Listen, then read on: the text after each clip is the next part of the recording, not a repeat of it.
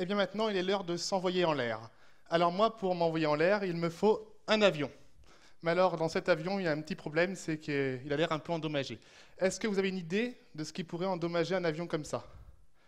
C'est un impact de foudre. Et avant de prendre l'avion, est-ce que vous êtes déjà demandé la fréquence d'un impact de foudre? Eh bien, en fait, c'est une fois toutes les 1000 heures. Vous vous rendez compte, pour vous, un coup de foudre une fois toutes les 1000 heures, ça serait quand même pas mal, non? Alors, un avion, comment on pourrait le protéger Il existe une protection actuelle et une que j'essaye de développer pendant ma thèse.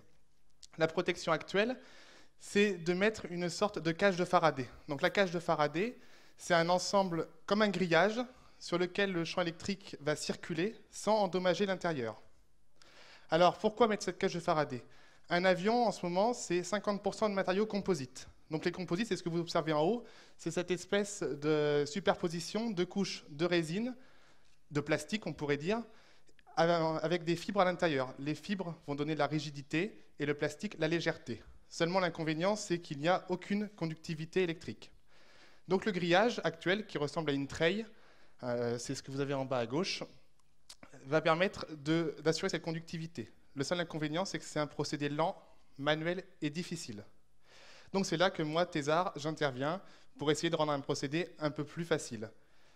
Alors pour moi, je vais métalliser. Alors ça veut dire que je vais déposer une fine couche de métal sur le polymère. Alors vous allez me dire, tu prends un pot de peinture, un, pinceau, et puis tu y vas. Bon, en réalité, c'est beaucoup plus complexe. On va utiliser une technique, la projection à froid, ou en anglais le cold spray.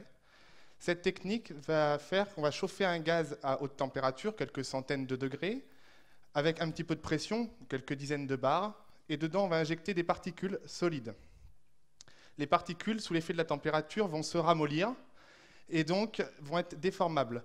Lorsqu'elles vont impacter la pièce à revêtir, donc là c'est le substrat, elles vont prendre la forme de la pièce, adhérer, et les suivantes vont coller sur les anciennes pièces. C'est ce qui va permettre de créer le revêtement.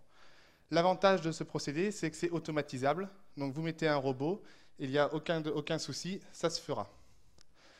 Donc euh, toutes ces techniques sont disponibles dans les laboratoires. Ça coûte certainement un peu plus cher que de faire par le procédé manuel, mais c'est un gain de temps pour l'entreprise. Enfin voilà, donc j'espère qu'avec ce sujet, vous aurez, comme pour moi j'ai eu lors de ma thèse, un coup de foudre. Merci.